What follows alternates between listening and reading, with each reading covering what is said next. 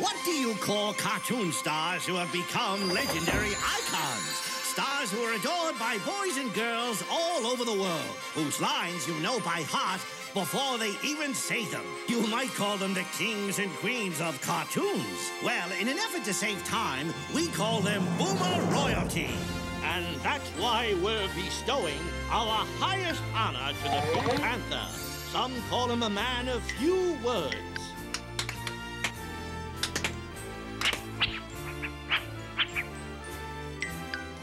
Others say he's the strong, island type.